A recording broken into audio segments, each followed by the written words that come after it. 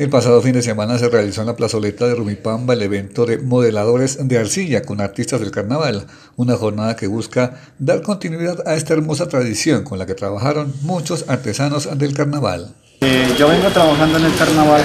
desde hace mucho tiempo cuando nosotros trabajamos solamente en arcilla, no había material sintético. Entonces yo me doy cuenta que ahora ya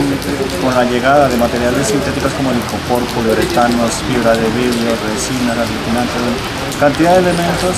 nos damos cuenta que la salud de nuestros participantes del carnaval se está afectando mucho, inclusive hay desaparecidos como José Ignacio Chicariza que murió por problemas de pulmones, como Olmedo Delgado, eh, lo mismo con Héctor Moncayo y mucha gente que se ha desaparecido. Y lo que se pretende ahora con este concurso de modelado en arcilla es mostrarle a la gente y los jóvenes que vengan a ver para que retornemos nuevamente a las técnicas a las cuales no le hacemos daño a nuestro planeta, inclusive tampoco le hacemos daño a nuestra salud. Para eso es el mensaje, por eso lo estamos haciendo, para que día a día nosotros vamos pensando en materiales eh, naturales, para que no tengamos ese problema de material sintético como se está pasando.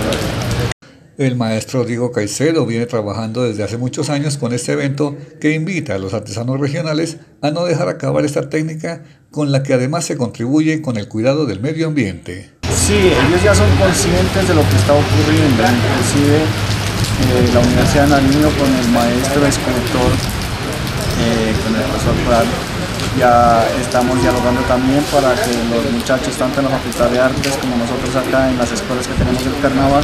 empecemos a inculcar a, nuestros jóvenes, a nuestros niños, de que el carnaval se lo debe trabajar con nuestra Pachamama, con lo que nos brinda, con lo natural, para que nosotros no podamos afectar la naturaleza con tanta cantidad de confort que nosotros necesitamos y este nunca se va a acabar. Entonces, eh, cambiemos el material sintético por materiales naturales como la arcilla, sigamos trabajando como lo hicimos en un principio.